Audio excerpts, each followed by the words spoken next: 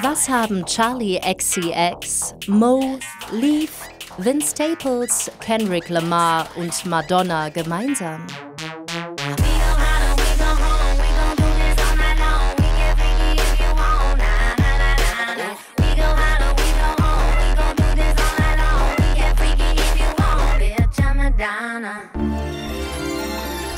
Sie alle lassen Songs von Sophie produzieren. Und die ist drauf und dran, den Pop zu erneuern.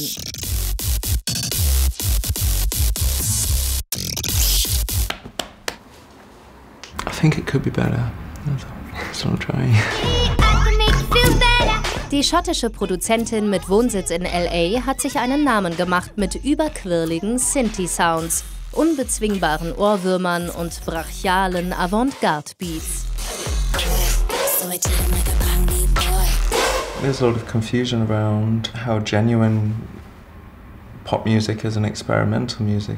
I, I try to imagine a hyper-real world of sounds um, that we're sometimes used to from um, blockbuster films and that kind of thing.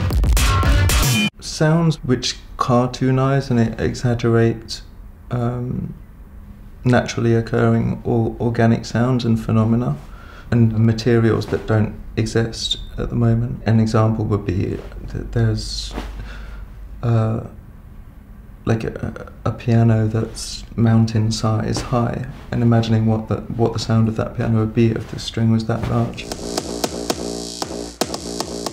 Bis auf die Stimme sind bei Sophies Produktionen alle Klänge, Beats und Instrumente von Grund auf synthetisch modelliert.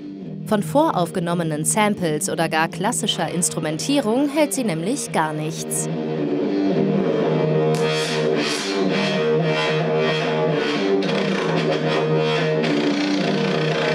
Well, you have the possibility with electronic music to generate any any texture in in theory and, and any sound. So why why would any musician want to limit themselves? You, you want to work with the most powerful tools you can work with. And in the past that may have been a piano or, or a guitar, but uh, now I think the power of software synthesizers is something that all musicians, I would think, would want to harness.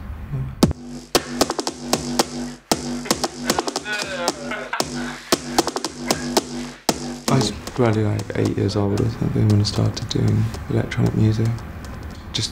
Going into the shops, that was like my fantasy land in, in electronic music instrument shops. I was pretty isolated in my interests in those things, and I was really looking for people that I could connect with, and it took a long, long time. Probably, you know, not until I met a lot of the piece, piece of music people and found people that had similar interests and skills to me. Mit dem Londoner Kollektiv von PC Music verbindet Sophie von Anfang an die Liebe zu überdrehtem Pop und künstlichen Hochglanz-Konsumwelten. Das geht sogar so weit, dass sie zu ihrem gemeinsamen Song Hey Cutie einen fiktiven Energy Drink erfinden, inklusive Produktvideo. Sophie selbst bleibt während dieser Zeit anonym. Jahrelang gibt es wilde Spekulationen über ihre Identität, ihr Aussehen und ihr Geschlecht. Bis sie Ende 2017 dieses Video veröffentlicht.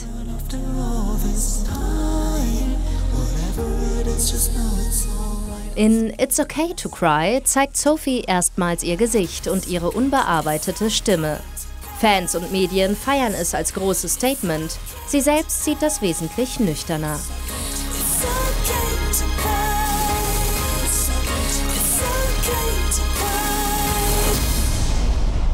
I was quite disappointed in a lot of ways with the with the way it's received because it displayed a lot of the hang-ups that people have around needing eh, requiring an image to be attached with music. I just felt like I could use my body more as a material as and as, as something to express through and not fight against and that was really the shift that happened.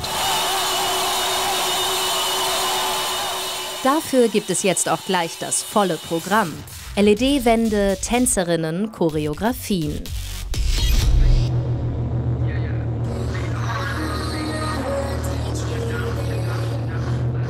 Auch das Privateste wird von Sophie auf die Bühne geholt, wie hier bei einer Galerie-Performance mit ihrer Freundin Seth Montana.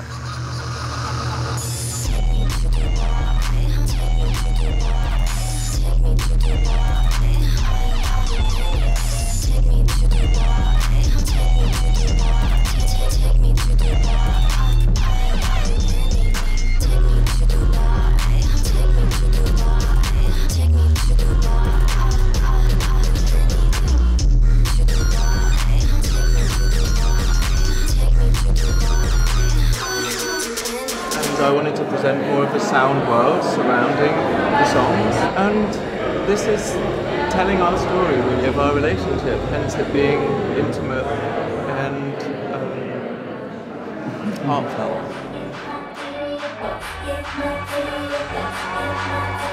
Gerade läuft Sophies Welttournee. Demnächst sollen gleich drei neue Alben erscheinen. Und Lady Gaga hat auch schon angeklingelt. Auf den Lorbeeren ausruhen ist nicht. In einer festgefahrenen Industrie erneuert sich der Pop schließlich nicht von selbst.